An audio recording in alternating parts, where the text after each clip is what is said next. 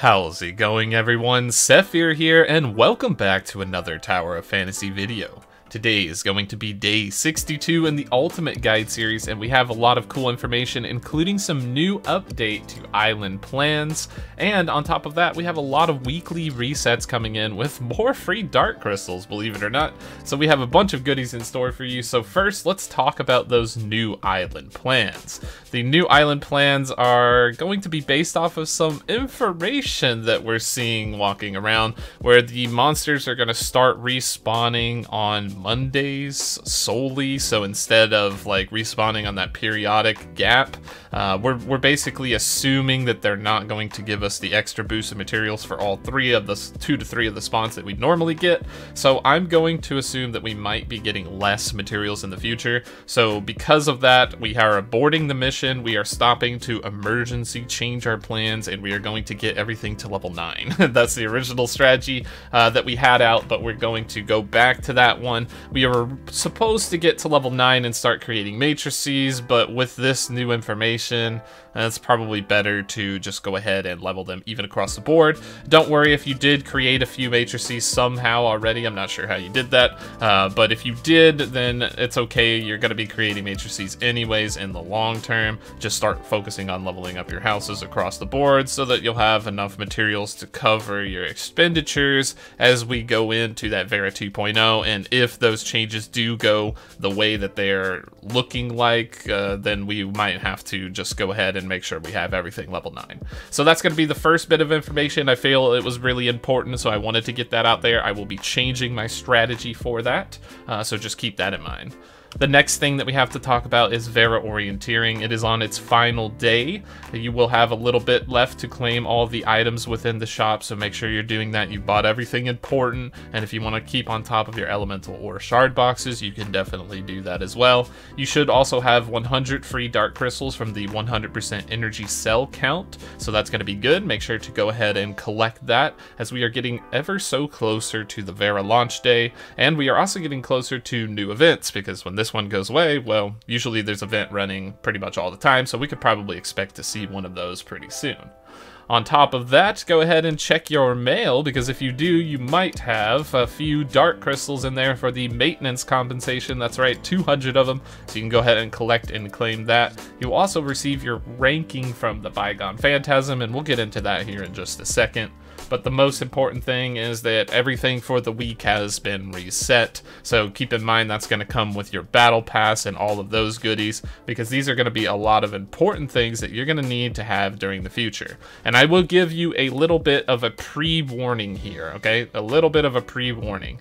We are going to be holding our battle pass next week, not starting this week, but next week, because there is a new battle pass in the Vera uh, sort of environment which gives you some better materials and items. So what we're going to do starting on Monday, which is going to be the 17th, we are not going to claim our Battle Pass stuff in the hopes that it's going to carry over. We're going to be able to redeem within that same week that Vera launches on the 20th of October. So hopefully we can get those new Battle Pass rewards instead of the old ones. It's a bit of a gamble. I'm still thinking on it, but that might be the direction we're going. So just a little bit of a heads up there.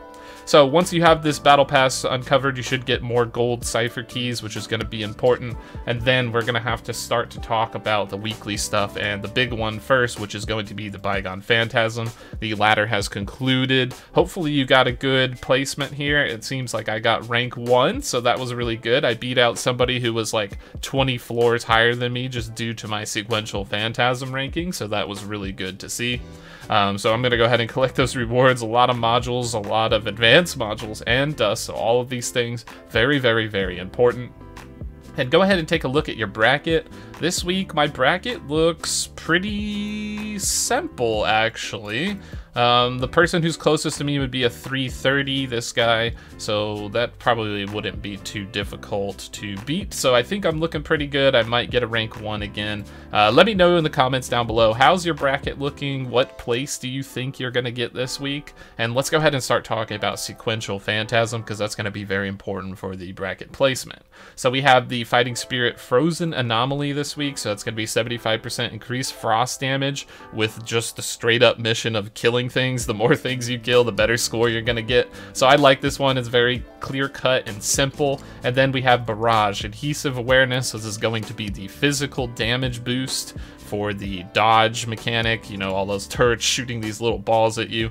This one can be rough. I do have a strong Shiro, so hopefully I'll be okay with that. And those of you that have Claudia will definitely be doing really well on this one. So that'll be a fun one to do, and we have the return of Survival Long Night with the Flame and Volt damage increase, or um, they can only receive Flame and Volt damage. So this is going to be another one where you're just going to have to survive with Nemesis and Zero, probably run around in a circle and just live live until the end. Uh, that one's always interesting, but we can get some high points on that, so it's okay. So overall, looking pretty decent for the Bygone Phantasm.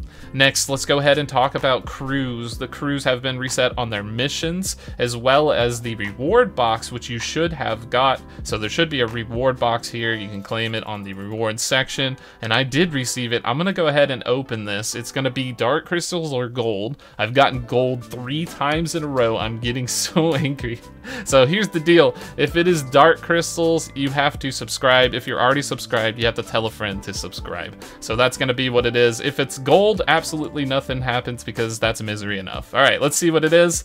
And the box is gold. All right, well... This is my fourth week in a row. This is kind of painful, guys. I'm not going to lie to you.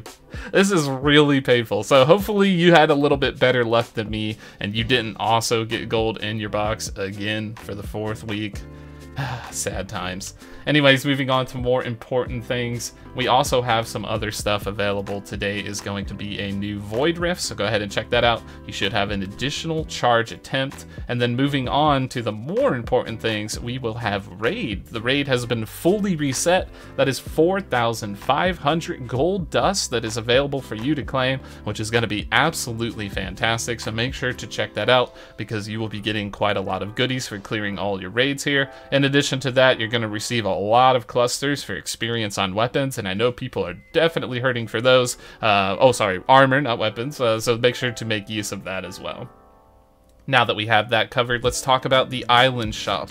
The island shop has also been reset, which is directly behind me, so you will be able to get more clusters, more weapon batteries, the weapon materials, and the SR relic shards. So there's going to be a lot of goodies here, so make sure to budget your expenditures appropriately with upgrading your gear so that you can afford all your stuff by the end of the week. So just keep an eye out for that. Speaking of shops, let's talk about the commissary because that has also been reset, and here you will see we get advancement modules, which are going to be very, very, very nice for upgrading your gear. So go ahead and purchase those for the week, as well as the booster modules, should be 40 in total. So that's going to be some nice ability stuff to power up your gear and your combat score, which is definitely going to help.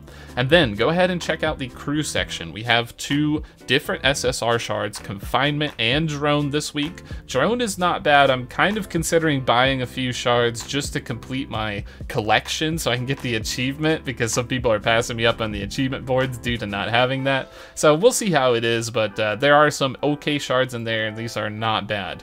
Then we have the support store. You will be able to buy your support uh, joint supply chips as normal. So go ahead and pick those up if you can, as well as your black nucleus, because those are going to be very nice. Get a little extra pools. You never know what you can get. I mean, I tend to get some SSRs occasionally here and there from the black nucleus, so it's not too shabby.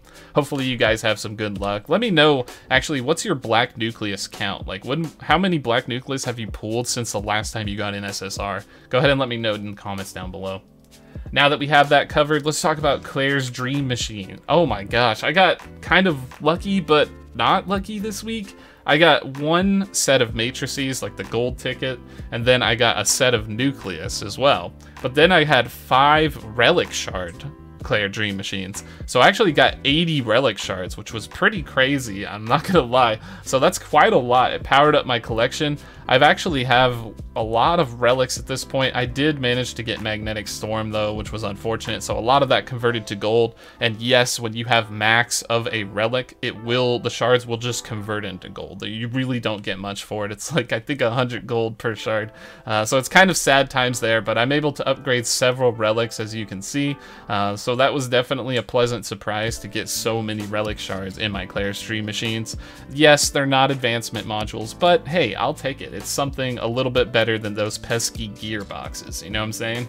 Okay, finally, to wrap up the video, we have information on the art contest. I did post that out. It has been concluded by the time this video has been released, so I will be picking 10 winners and handing out Tower of Fantasy in-game codes to those winners, and I will also feature their art in the next video, so be forward to uh, be sure to look forward to that. And then we also have the Twitch live stream, which will be tonight at 5.30 p.m. EST. I'm going to be giving away Gold Nucleus and SR Relic Shard box codes, so make sure to stop stop by your the stream for your chance to win the giveaway.